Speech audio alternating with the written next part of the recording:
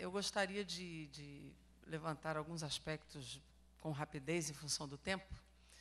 É, primeiro, eu ouvi aqui é, alguns depoimentos, como da Zâmbia, da África, e ontem eu ouvi um depoimento muito forte da Uganda, em que era dito com muita clareza é, a contraposição entre comer e deixar uma árvore em pé. E muitas vezes, quando essa opção é colocada, as pessoas derrubam a árvore para se alimentar. Então, obviamente que nós precisamos superar esse tipo de contradição, oferecendo alternativas às populações em relação à sua possibilidade e oportunidade de partir para caminhos que consigam enquadrá-la numa possibilidade de conviver com a natureza integrada a ela e com é, acesso equitativo a outras possibilidades. Quando se discute a energia, eu considero que essa discussão do acesso ela ganhou principalidade, porque de fato essa é a questão principal. Como eu acesso a energia e como eu possibilito que essa, esse equilíbrio seja dado e essa possibilidade como um bem estratégico fundamental para a vida. Eu senti muita falta dentro dessa discussão de algumas coisas que não sei se são possíveis de serem colocadas aqui. Primeiro, é, se cada país tem uma realidade diferenciada, né, e aqui nós estamos no Brasil, obviamente que esse é um encontro mundial, mas nós estamos no Brasil, e eu, como brasileira, sei da nossa biodiversidade, da nossa riqueza de recursos naturais, sei de que nós somos vanguarda em muitas coisas do ponto de vista da energia, inclusive na área de energias renováveis. Mas sei também que ninguém faz uma transição tão rápida. Nós mesmos aqui não teremos a ficção de abandonar os combustíveis fósseis, até porque nós temos aqui uma, uma um grande contingente ainda de, de recursos fósseis, como outros países também têm. Então, eu faço alguns apontamentos bem concretos. Primeiro, é, nós poderíamos, eu pergunto se é possível agregar três propostas que eu não sei se, se são factíveis aqui nesse, nesse conjunto. Primeiro, da gente colocar um item dizendo que os recursos derivados do uso de combustíveis fósseis serem aplicados massivamente, sendo redirecionados para processos de inovação e processos tecnológicos para as energias renováveis. Essa é uma primeira questão, porque eu sinto falta da, da relação tecnologia e energia renovável. Não, não vi a palavra tecnologia, ciência e tecnologia nessas dez questões.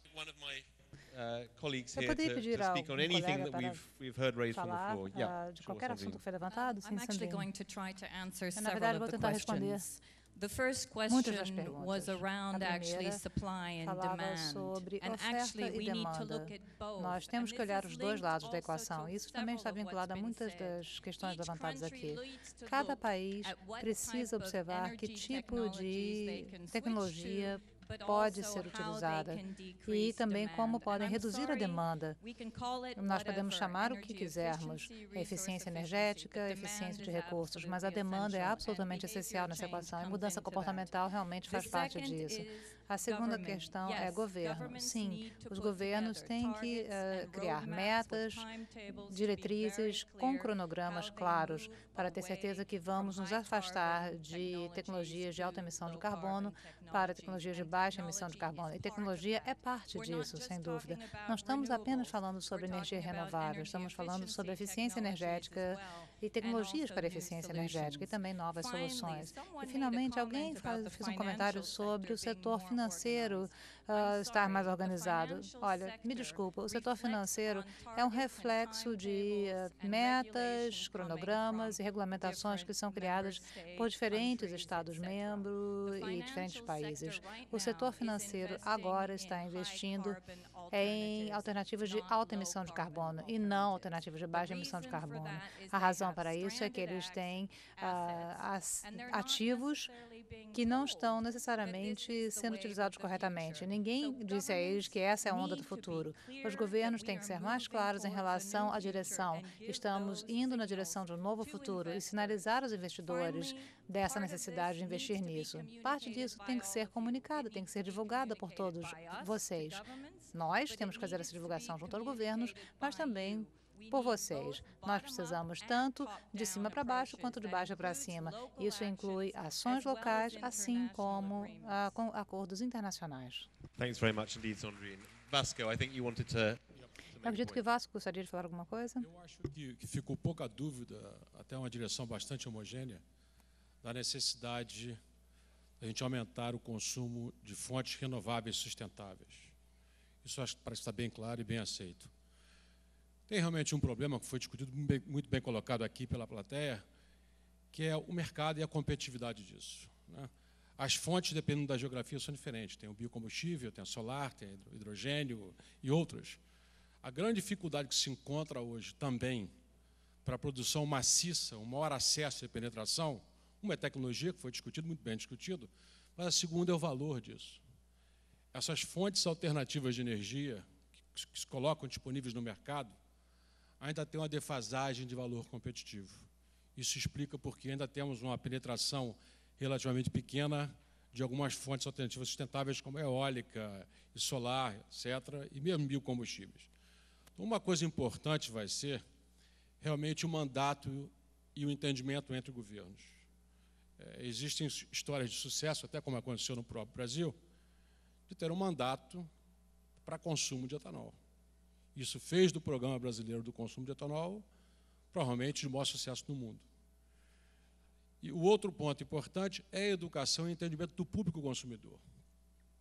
Mesmo com tecnologia, nós ainda vamos ter um gap, um tempo, para que as fontes renováveis de energia sejam tão competitivas quanto algumas outras existentes.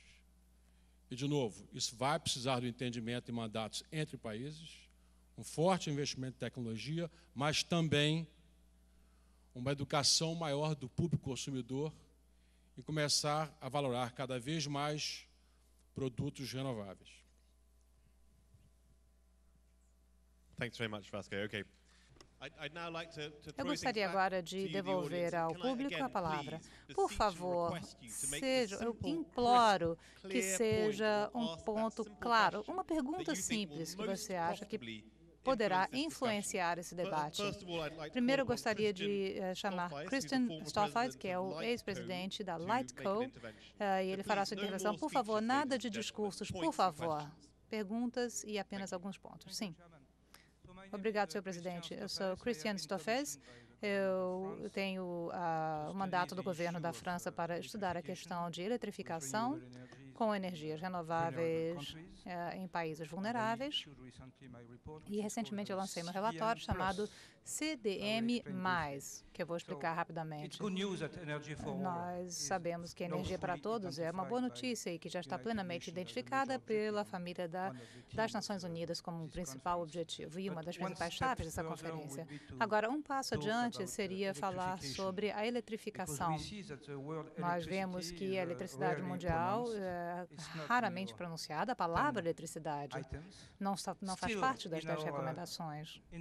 Ainda assim, no nosso mundo industrializado, a eletrificação foi uh, parte de um debate político no século, uh, em meados do século XX.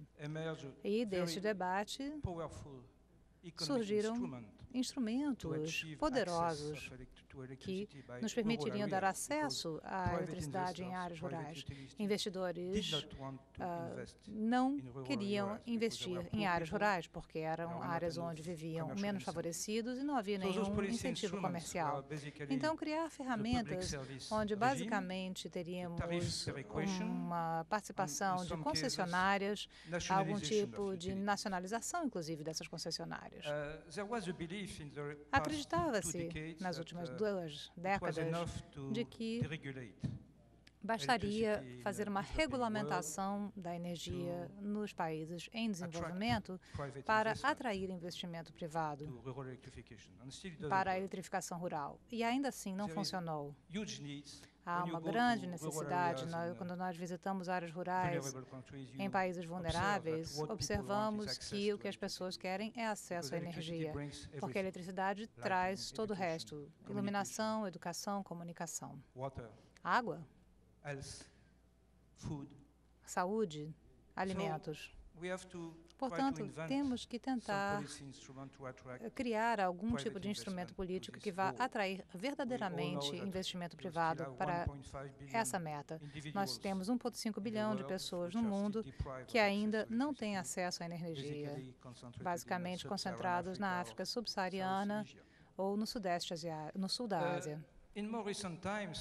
Mais recentemente, uh, introduzimos as energias renováveis na matriz energética e também uh, criamos instrumentos políticos, por exemplo, as tarifas feed-in, que obrigam as concessionárias a usar fontes renováveis. E isso levou a um espetacular desenvolvimento de energia solar e eólica. Mas isso se baseou em instrumentos de política. Então, eu agora eu faço a pergunta, que eu acho que vai ser muito útil concentrar Agora a questão já foi plenamente identificada. Nós temos que nos concentrar nos instrumentos de políticas. Se quiserem saber mais da nossa proposta sobre o mecanismo de desenvolvimento limpo, que é dos, um dos instrumentos do protocolo de Kyoto, entre no nosso evento uh, paralelo amanhã no pavilhão T11. Muito obrigado. Obrigado por essa propaganda completamente uh, desavergonhada. Mas uh, do que nós estamos falando aqui, sem dúvida, é um nível político, um instrumento político. Nada vai adiante a não ser que tenhamos políticas de longo prazo. Isso já foi levantado muitas vezes. Mais uma vez, senhoras e senhores, nós com certeza temos mais pessoas querendo uh, fazer perguntas do que temos tempo. Então, eu peço, por favor, mais uma vez, direta, uma pergunta direta, aqui no lado. Há duas mãos aqui em pé.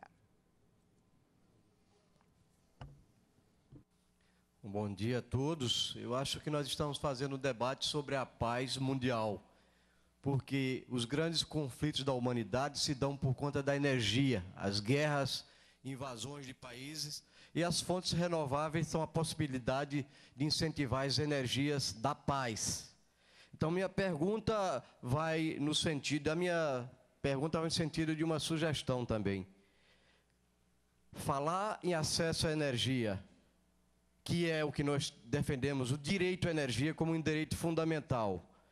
Ela não acontece se não houver um plano de cooperação e de transferência de tecnologia para os países pobres. Então, a minha pergunta ou sugestão: o programa, nacional, o programa das Nações Unidas para o Meio Ambiente não poderia promover um processo de transferência ou cooperação na, no uso de energias renováveis dos países ricos ou desenvolvidos tecnologicamente para os países pobres. E o Brasil experimentou uma importante experiência com o programa Luz para Todos, que hoje já permite que mais de 96% da população tenha acesso à energia. E é um programa financiado principalmente pelo Estado brasileiro. Então eu creio que é da compreensão mediana que sem a presença do Estado não haverá acesso à energia.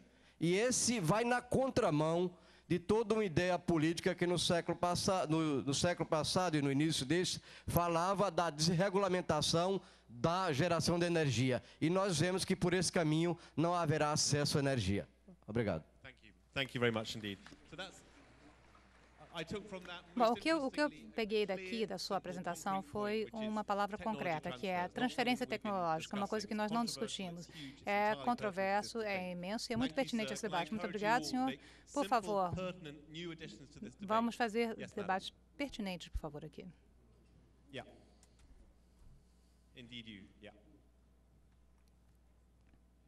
Uh, bom dia a todos.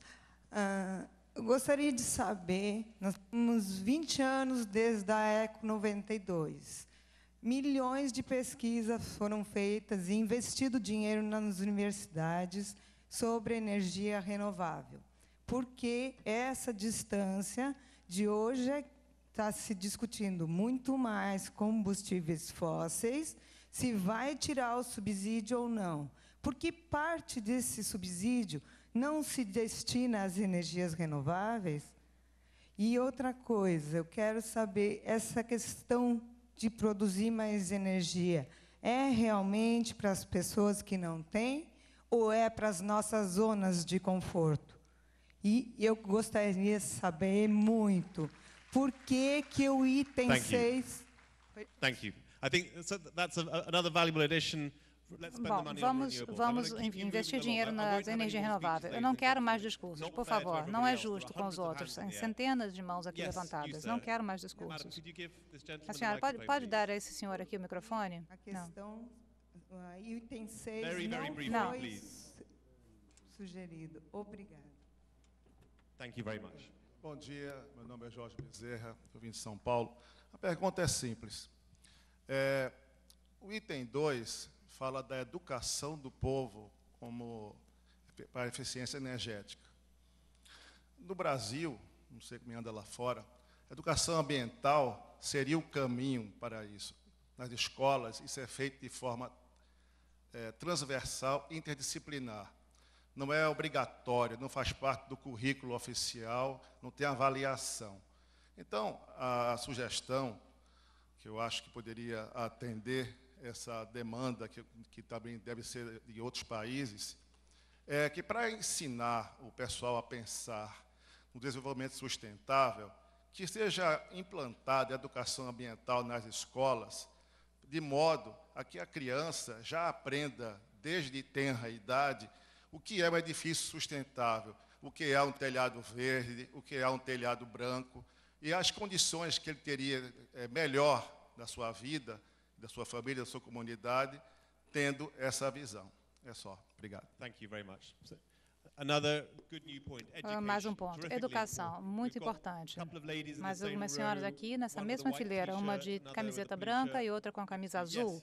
Sim, a senhora, a senhora com a camiseta branca aqui. Eu sou Lourdes de. Okay, I'll come to you next in that case. Yeah. Eu sou Maria Lourdes de Brasília. Eu gostaria de eh, colocar o item 6, que ali se fosse substituído por tecnologia e educação, porque isso é essencial para que uh, uma renovação da energia aconteça. Obrigada. Thank you very much indeed. Another, another ah, por favor, mais uma sugestão. Educação, mais uma vez. Ali atrás, na metade aqui, com a camiseta branca. A loura de camiseta branca.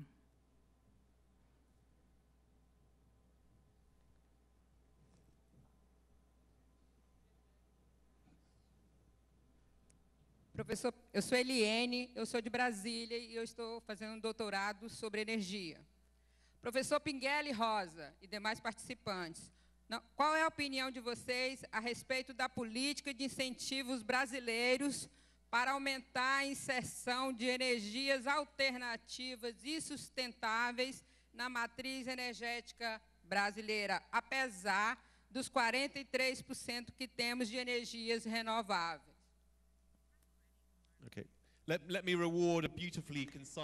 Uma pergunta, vamos pedir então que o professor responda diretamente essa pergunta. Would you like to answer? É, é, acho que existe, mas é insuficiente. É, a energia eólica se expandiu muito no Brasil. O custo abaixou e há uma previsão de que seja a maior percentagem de expansão de geração elétrica nos próximos anos. Isso é positivo. Mas a energia solar, ela poderia ser muito mais usada. Falta um incentivo para o uso de geração distribuída é, que seja feita nas casas, é, que seja feita nas empresas, usando energia solar. Eu acho que esse ponto deve se melhorar muito aqui no Brasil. Thank you very much, professor. Okay. Uh, the, yes, lady Sim, the a senhora de camisa uh, azul, uh, cabelo escuro, altura do ombro, a mão aqui levantada. E depois we'll, we'll dela, vamos essa, um, passar para essa senhora aqui com o vestido colorido. Aqui. Yeah. Meu nome é Mônica. É, eu sou da Secretaria Estadual de Mulheres do Partido Socialista Brasileiro do Rio de Janeiro. Eu queria perguntar a vocês o seguinte: hoje, a biomassa produzida pelas mulheres e pelo pequeno produtor rural, ele simplesmente atua em conjunto com as mesmas petroleiras que, em parceria com a empresa de biocombustível, vieram vazando óleo nos nossos mares. Qual é o critério, é quais são os mecanismos legais para que o pequeno produtor, para que o nosso solo não sejam alijados desse processo? O que, que vai ser feito para que quando mecanizarem essa cultura, o nosso solo não fique exposto a uma série de danos okay, e a nossa população também. I think that's your point. Thank you very much indeed, madam. Yes. Muito obrigada, senhora. Sim. É, bom dia. Tá funcionando? Bom dia, sou a Rose da Agência Nacional de Transportes Aquaviários, vinculada ao Ministério dos Transportes do governo brasileiro. A minha pergunta é até para orientar o meu voto. É, eu queria saber se na questão 5, quando se fala promover o uso sustentável da energia, inclui aí é, matriz de, de transportes, não só falando em transporte público. Porque a minha preocupação com o Brasil é que hoje é inaceitável que tenhamos, como grande maioria, o transporte rodoviário de cargas. Né? E e eu entendo que isso não é um problema só do Brasil. Para orientar o meu voto nesse sentido, considerando que é muito importante a matriz de transportes equilibrada, se isso está incluído no número 5, porque eu vejo outras iniciativas isoladas, de usar a bicicleta, é relevante, mas é, tem também esse, é, o problema do transporte de carga, só para orientar o, o, meu voto. Obrigada. Ok, thank you. Uh, obviously, Obrigado. Foi um ponto bastante popular, uma pergunta popular. Vamos seguir adiante. Sim, com certeza queremos manter uma perspectiva global e não apenas brasileira. A senhora Loura, ali, uh, por favor, com a mão aqui. Uh, por favor, o microfone a ela. E depois vamos passar para esses senhores aqui uh, de cabelos grisalhos, aqui um ao lado do outro. Então, fique pronto com o microfone aqui. Obrigado. Eu sou Sonny Tella. Eu acabei de me formar e eu tenho uma pergunta. Muito simples. Eu gostaria de saber de todos os políticos e todos aqui nessa sala, o que que levou tanto tempo? Por que demorou tanto? Se não soubermos o que levou tanto tempo para nesses últimos 20 anos, o que, que pode nos garantir que não vai levar mais 20 anos? E eu acho que não podemos uh, não podemos esperar mais tanto tempo. Muito, import muito importante. Vamos ver se o painel gostaria de responder essa pergunta tão clara. Por que, que é tão difícil? Eu acho que essa é a mensagem final. Ah, quem gostaria de responder? Sheila. Obrigada. Eu acho que uma das razões é que nós temos prioridades que concorrem com essas prioridades. Eu acho que quem tem mais força para pressionar e fazer valer a sua prioridade. Eu acho que isso é crítico no sentido de o que demorou, por que demorou tanto. Eu gostaria de revisitar uh, um dos pontos da nossa discussão de por que estamos aqui. Estamos falando de desenvolvimento sustentável. Quando falamos de desenvolvimento sustentável, nós precisamos uh, pensar na tecnologia, que é importante, mas temos que atingir metas de desenvolvimento sustentável. Isso é ainda mais crítico. Eu acho que para países em desenvolvimento, a redução da pobreza é essencial. Quando eu não tive, é, eu não pude responder quanto que eu vou usar, onde eu vou usar esse dinheiro. Eu acho que nós temos que ter uma abordagem abordagem para os pobres, para os menos favorecidos. E nessa abordagem, temos que considerar também uma abordagem que favoreça também as mulheres. Quando consideramos apoiar acesso à energia, temos que decidir que tipo de acesso à energia estamos falando. Queremos apoiar acesso à energia para que, que tenhamos acesso a um, um, acesso mínimo a serviços básicos para todos os domicílios? Não sei, eu acho que isso é crítico.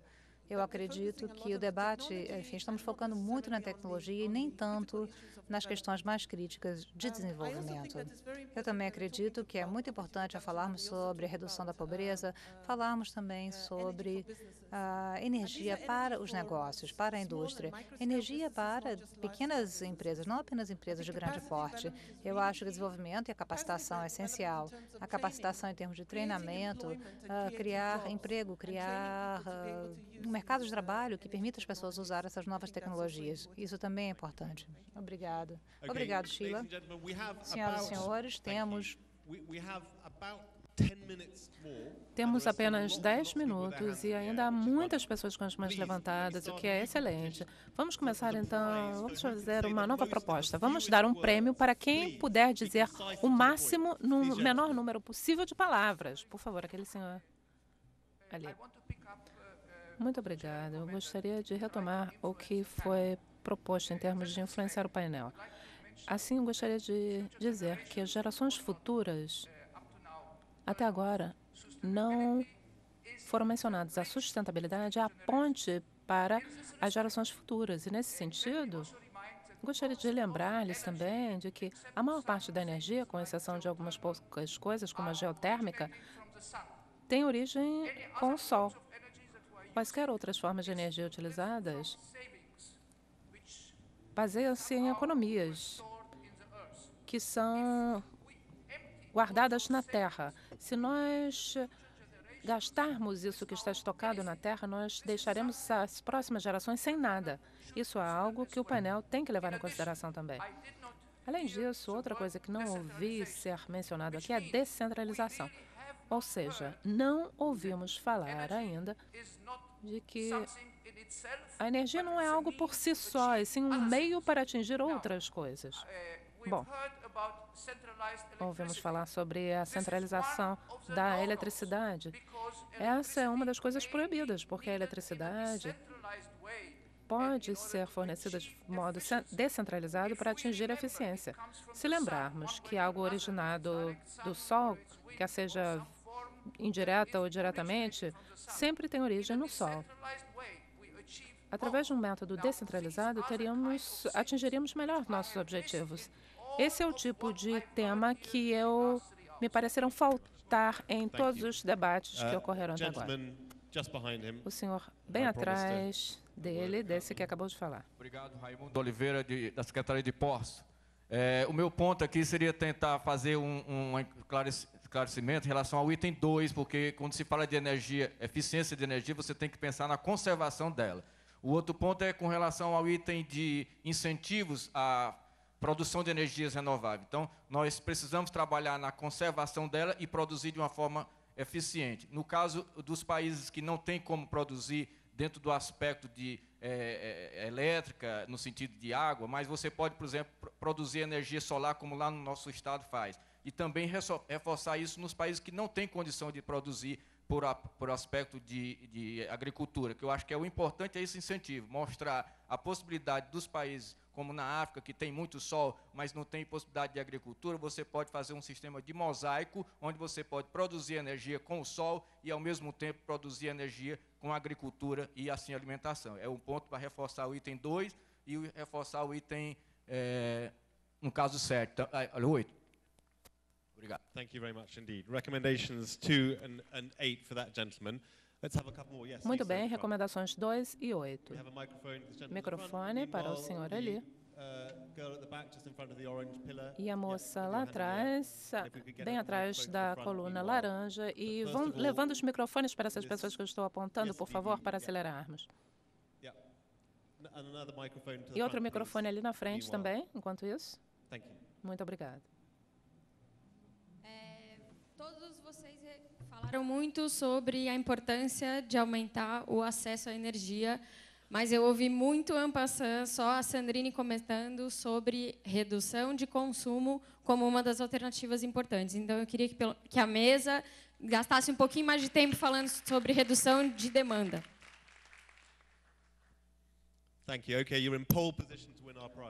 Muito bem, você está bem colocada para ganhar nosso prêmio. Meu nome é Erasmo.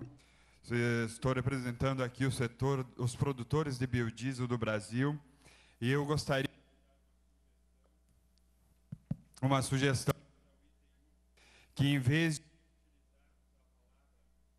em vez de utilizarmos a palavra eliminar subsídios, que nós pudéssemos utilizar a palavra direcionar estes recursos para investimentos em energias renováveis. Nós temos que ter metas claras de tempo, de quantidade que nós vamos investir de recursos para as energias renováveis. Sem investimento, sem dinheiro, nós não vamos conseguir aumentar a utilização de energia renovável e nem resolvermos os problemas sociais. Essa é a nossa, nossa sugestão. Thank, thank you. And a good suggestion too. Ótima sugestão. Eu sou do The Economist. Nós uh, detestamos subsídios e adoramos investimentos. Então, eu estou adorando a ideia de tirar subsídios e levá-los para investimentos. Tem um senhor levantando ambas as mãos, já está ali há duas horas com a mão levantada. Seria injusto não dar o microfone. E o outro microfone para esse, essa pessoa aqui de blusa azul. Não, não o senhor, o outro. Lá atrás. Enquanto isso, você pode falar. Muito está sendo falado sobre os custos proibitivos da energia renovável, mas no Brasil desenvolvemos uma tecnologia que é aquecimento solar de baixo custo. 40% de toda a energia utilizada no Brasil é pelos chuveiros elétricos. Temos soluções efetivas que podem reduzir esse consumo de energia em 40% em todas as residências. Por que não estão falando desse tipo de soluções que já existem e po podem ser implementadas imediatamente e assim fornecer muita eficiência energética? Bom ponto. Deixa eu formular essa pergunta. Como podemos levar essas tecnologias promissoras e já existentes e aumentar o seu uso e aplicação? Ah, o senhor ali com a blusa azul. Opinião de você sobre um ponto a adicionar. Ainda não há consenso científico sobre os reais impactos das matrizes energéticas dos países. Sugiro, então, desenvolver padrões dos níveis de sustentabilidade e renovação das fontes energéticas para alinhamento dos planos nacionais de energia. Thank you indeed. A new, a new, uh, Muito obrigada. Outra ideia de matriz energética e parâmetros. Agora, com a blusa cinza e uma e ris, é, riscas amarelas. Alguém que está levantando a mão e abanando. É, meu nome é Iglesias Caballero. Eu sou do Conselho Estadual de Meio Ambiente da Bahia. É, estamos aqui representando esse conselho, CEPRAM. A, a, minha intervenção foi muito ajudada pela doutora Jandira Fegali. E aí eu vou restringir a um aspecto mais dirigido. É, eu trabalho em indústria é, de, de, que tem um porte mundial, é nacional, é aqui brasileira, e que investe de alguma forma em racionalização de energia. Investe, vírgula, está no seu portfólio, mas a cada crise que aparece, ela retira os recursos desse investimento e a racionalização do uso de água ou do consumo energético fica em terceiro, quarto ou quinto plano. A minha proposição é no sentido de que, vendo esses dez pontos apresentados, nós percebemos que colocamos a busca da solução do problema na ação dos povos ou na oneração do Estado. E a busca a busca okay. da participação do setor econômico, ela não apareceu em nenhum desses dez pontos. Eu acho que isso seria importante. Thank you. Thank you indeed. Senhoras e senhores, nós temos cinco minutos apenas, literalmente. Eu quero colocações em frases únicas, rápidas e muito objetivas. Tem uma pessoa ali que está abanando, a moça que está abanando ambas as mãos, é justo passar para ela um microfone para aquele lado ali onde há muitas pessoas que querem fazer comentários também. Muito rápido, estamos pouco tempo. O microfone para lá. Enquanto isso, por favor, as recepcionistas, rápido. Uma, uma palavra. Eliminar subsídios à energia nuclear. A energia nuclear recebe muitos subsídios indiretos. Temos que eliminá-los. É essencial para a nossa saúde e para o futuro dos nossos filhos. E se quiserem acrescentar mais uma frase, Então, eliminação progressiva da energia nuclear até 2020. Então, eu ficarei super satisfeita. Talvez você fique satisfeita, mas não tem eletricidade até lá, então. Bom, lá do outro lado, alguém tem quatro mãos ali levantadas muito rápido os comentários agora, não temos tempo. Muito obrigado. Eu sou Conor Oz, da Rede Internacional Sustentável. Eu gostaria de dizer que em 10, 20 anos, pode-se eliminar, sim, a energia nuclear sem perder quilowatts-hora de energia. Mas a minha proposta aqui seria que o resultado desse processo deveria ser mais propostas, não uma apenas. Precisamos de 20 coisas diferentes para termos uma transição. Talvez a prioridade dessa reunião deva ser mudada. Muitas conferências foram feitas sobre energia sustentável e eficiência energética. Entendi. Do outro lado, duas uh, senhoras, uma de blusa branca e o microfone para o outro lado também, esse lado aqui, enquanto isso, lá atrás, lá atrás, tem algumas mãos ali, escolha uma pessoa lá do fundo. Gostaria de saber por que não existe uma política que obrigue o mundo inteiro a implantar o conceito de green building, de edifícios verdes. Porque se isso fosse obrigatório, com certeza a gente teria uma, uma enfim, a minha pergunta é essa. Thank you very much indeed. Thank you very much. Um, muito obrigado. Uh, muito obrigado. Lá atrás, uma senhora, não consigo ver, uma moça ou uma senhora, enfim, de cabelo morena, que está com a mão levantada, uma morena. Um microfone para aquele lado, por favor. Enquanto isso, senhora, a senhora que está aqui de óculos, mais perto de mim, pode ir falando. Um microfone para ela aqui, por favor, rápido. Rápido, podemos distribuir rapidamente esses microfones. Microfone para essa senhora aqui, bem na minha frente. Olá, eu sou aluna do segundo grau e eu gostaria de perguntar por que a educação está sendo negligenciada. Porque é apenas através do conhecimento que podemos atingir mudanças. Educação, mais uma vez, muito obrigado. Eu vou ser muito rápida. Eu estou estudando isso junto com as, o Comitê para Desenvolvimento Sustentável, questões legais de desenvolvimento sustentável há muitos uh, anos. Estou envolvido também num processo sobre governança legal. Porque tudo tem a ver com governança. Porque é que não usamos essa palavra tão simples, governança? Por que não vemos que todos os fundos perdidos e desperdiçados, essa drenagem e desperdício de recursos é devido a uma falta de governança? Essa proposta foi feita e rejeitada pelos governos. Eu gostaria de pedir que o painel considerasse isso. Pode-se, deve-se fazer emenda a esse item, que tem que ser colocado obrigatoriamente aos nossos negociadores. Melhorar a governança. Muito bem. Uma, um microfone para o senhor lá atrás, lá atrás, lá atrás, mais para trás. Aquele ali que está com a mão levantada. Isso, nessa fila, isso. Obrigado. Meu nome é Gustavo.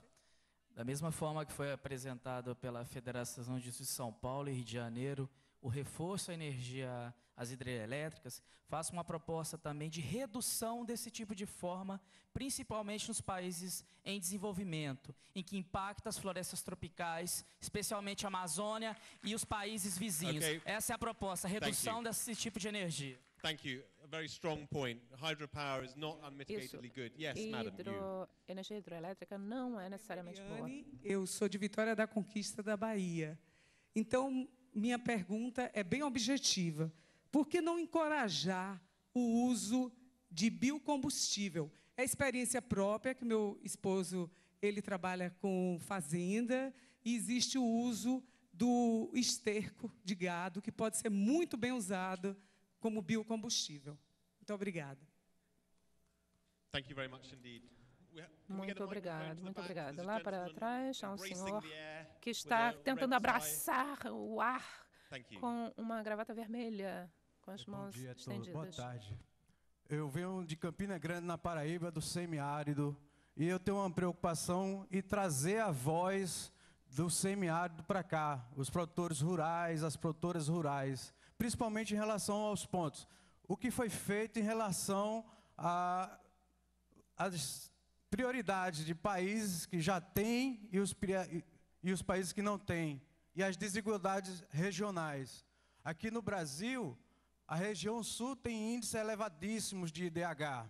Lá no Nordeste, nós temos 23%, da, popula 23 da população analfabeta, com 25% de analfabetos crônicos, são mais da metade da população. Estamos vivendo num momento agora de uma seca desde julho do ano passado e é muito grave, porque quando não tem seca, a vegetação diminui. Depois o impacto vai para o gado, quando não tem mais o que vender, ele retira a pouca mata que tem no seu território para vender como carvão. E dramaticamente há 200 mil hectares hoje extremamente degradados. Quero saber o ponto em relação a essas desigualdades, okay. até interregionalmente. Thank, obrigado. Thank you very much indeed. Muito obrigado. Senhoras e senhores, acho que foi um debate uh, extremamente provocador, muito uma discussão muito frutífera, sem dúvida alguma. Eu acho que houve mais discursos do que perguntas, mas enfim, eu sei que muitos continuaram com as mãos levantadas, peço minhas desculpas, mas teremos que votar agora.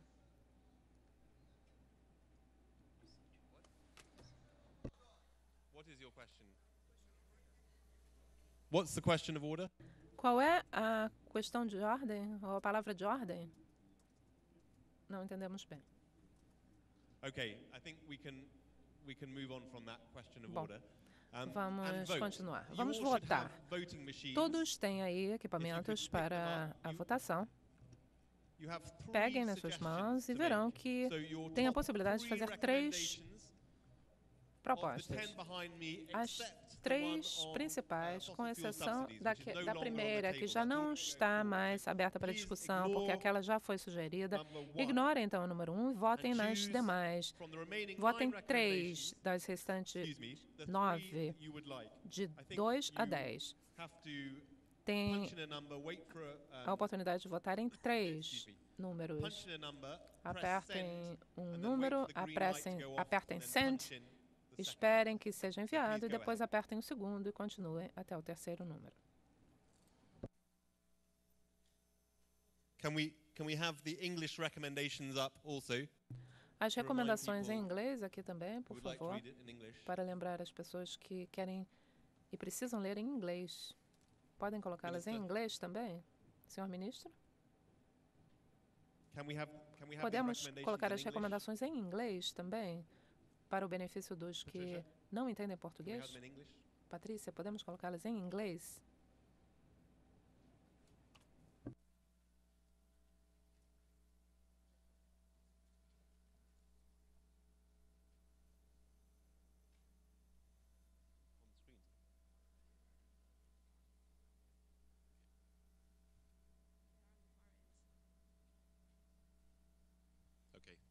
So you have them in English and in Portuguese. Bom, estão aparecendo também em português, em português e em inglês.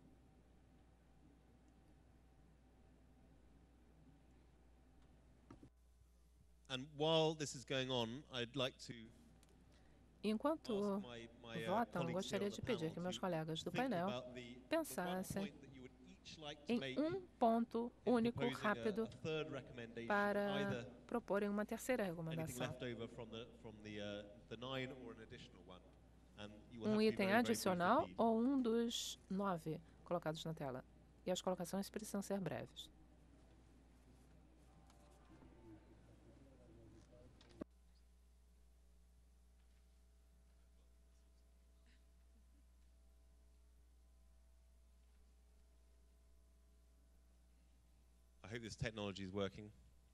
Espero que a tecnologia esteja funcionando.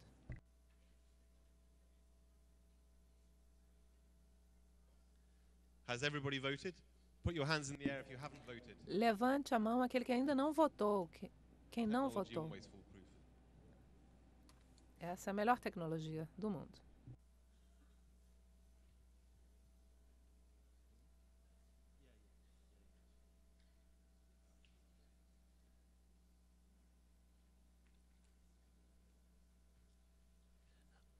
I hope we'll have a result quite soon.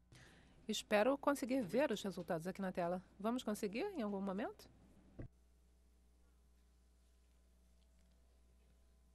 Are you seeing a result? Alguém consegue enxergar os resultados nas telas?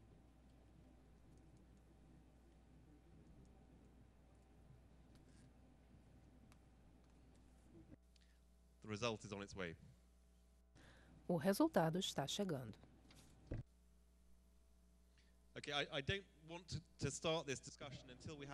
Eu só quero começar a discussão depois de conseguir ver os resultados.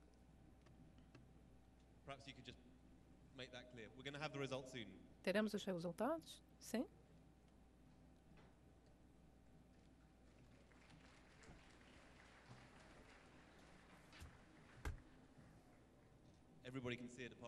Todo mundo consegue enxergar? Exceto nós aqui na mesa.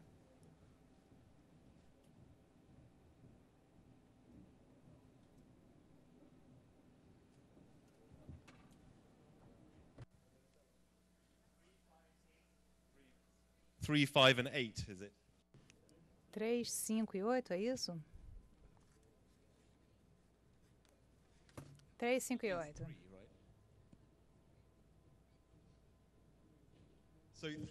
Então, uh, três, uh, estabelecer metas ambiciosas para avançar para as energias renováveis. É a nossa, então, recomendação. Parabéns. É, que bom que todos uh, não escolheram bicicleta. Eu ficaria um bocado, um bocado desapontado. Bom, vamos voltar ao painel agora. Eu gostaria de lembrar a todos que temos duas recomendações dessa lista de 10 que vão ser apresentadas hoje para os chefes de Estado que estão a caminho do Rio de Janeiro.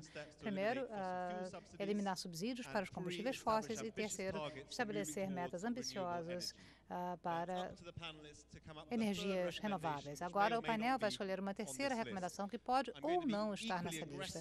Eu vou ser agressivo, vou pedir a todos que sejam muito concisos, que façam, apresentem seus uh, argumentos rapidamente. Então, vamos ouvir uma sugestão de cada um eh, em termos de qual será a terceira recomendação. E talvez eh, teremos uma votação entre nós. Por favor, vamos começar nessa ponta.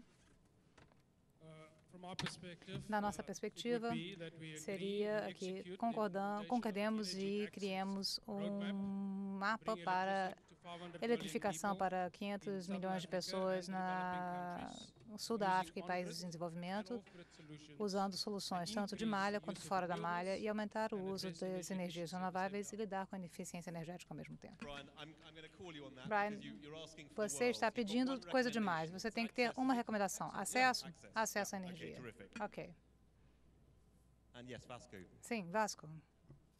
Meu voto vai para o número 3, como está aqui. São estabelecer targets ambiciosos para a energia renovável, até porque a minha empresa acredita que esse é o futuro. Obrigado.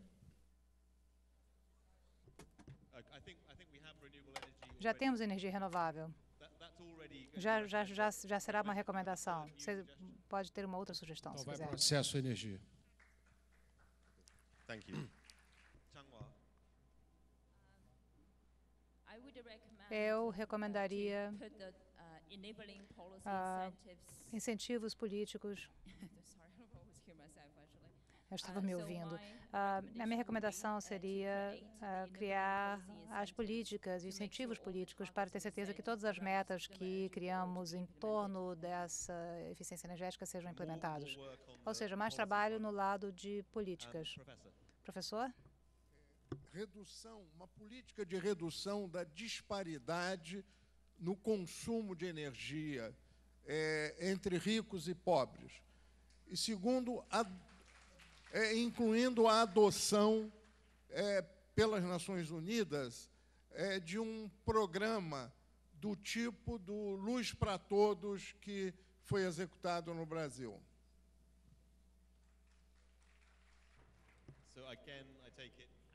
Acesso. Basicamente acesso. Ok. Eu acho que muitos de nós estamos falando de acesso, mas acesso, acesso de forma diferente. Então, olha, não é apenas acesso. Podemos ter certeza que o que vamos decidir colocar no texto, que sejamos muito claros. Estamos falando sobre uh, as, como, como vamos dar esse acesso, mas também uh, ter certeza que teremos mais acesso à energia sustentável e que estamos lidando com padrões de consumo. É isso que eu diria. Eu não acho que estamos apenas falando sobre acesso. Temos que falar também sobre que tipo de acesso teremos. Eu acho que precisamos. A melhor recomendação é a mais simples, sempre é a mais simples. Então, temos que uh, realmente apresentar uma recomendação direta. Ah, claro, se você tem outras visões, é a sua prerrogativa. Ah, acesso à energia, ou para que o mais rápido possível todos tenham acesso à energia sustentável e se pudermos ah, fazer isso antes de 2030, melhor ainda. Então, uma nova meta para acesso à energia. Cornelius. Uh, Eu uh, juntaria diversas recomendações e uh, colocaria em nova redação. aumentar, ter normas de eficiência energética mais rígidas para bens de consumo. Em termos de eficiência energética, é muito importante, por exemplo, até na área de veículos e transporte.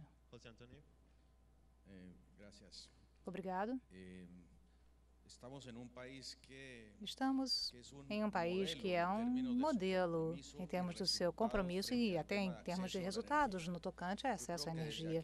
Eu acredito que então deveríamos aqui lançar essa recomendação. E eu acho que a redação do ponto 5 não, não é ideal, poderia ser melhorada, sem dúvida, mas eu acho que é a única recomendação onde falamos de acesso. Então, eu acho que o número 5 é a melhor recomendação. Okay. Podemos mudar um pouco a redação, sem dúvida. Podemos sugerir alguma coisa uh, de uma forma um pouco diferente, talvez, com uma redação diferente. Thomas? Obrigado. Desse debate, eu, eu vejo claramente que não é apenas uma ideia de um tamanho para todos, um tamanho único. A nossa recomendação deveria refletir isso, buscando soluções locais. Então, eu tenho uma aqui, uma recomendação. A minha recomendação seria uh, assegurar um escalonamento rápido de acesso à energia sustentável através de capacitação e educação, criando marcos e quadros para parcerias locais entre os setores uh, privados, públicos e academia. Muito obrigado. Bastante preciso, Sheila. A minha seria aumentar os investimentos e a vontade política para assegurar acesso universal, igual, aos serviços sustentáveis de energia para todos até 2020 para necessidades de domicílio e de pequenas comunidades. Obrigado, Sheila. Bom, qual é a minha tomada de tudo isso?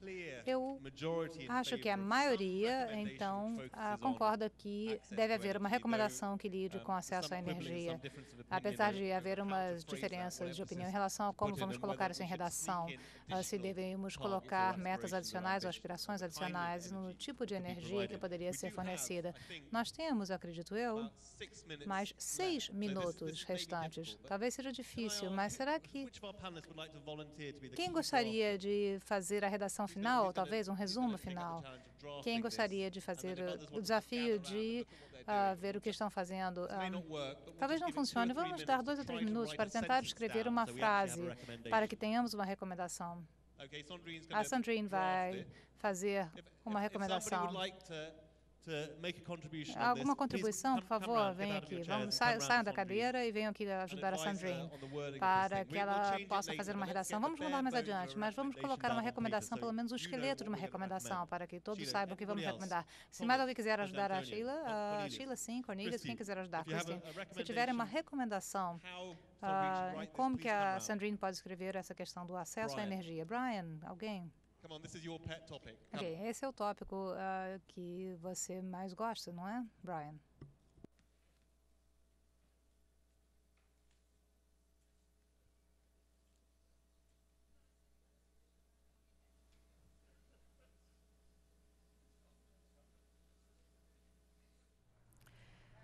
Você está, você está acompanhando o debate sobre energia sustentável para todos. No momento, eles estão discutindo as recomendações que vão ser enviadas, que vão ser levadas aos chefes de Estado e de governo presentes na cúpula da conferência, que vai ser realizada de 20 a 22 de junho.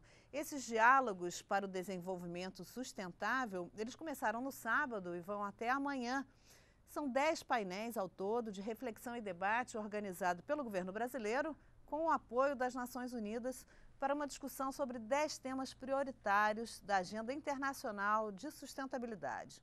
Participam representantes da sociedade civil, incluindo o setor privado, organizações não governamentais, universidades, entre outros. Nesse painel que vocês estão vendo de energia sustentável para todos, algumas das recomendações votadas foram estabelecer metas ambiciosas para avançar no sentido da, das energias renováveis, eliminar subsídios para combustíveis fósseis. E no momento, eles discutem a redação de uma outra recomendação que consiga englobar várias visões é, de, de promoção do acesso universal à energia renovável. Esses diálogos para o desenvolvimento sustentável, eles continuam amanhã com hoje à tarde nós teremos também uma, um debate sobre água e amanhã um debate sobre cidades sustentáveis e inovação são 10, são 100 debatedores ao todo nesses 10 painéis, que começaram no sábado e vão até amanhã. O público também participa.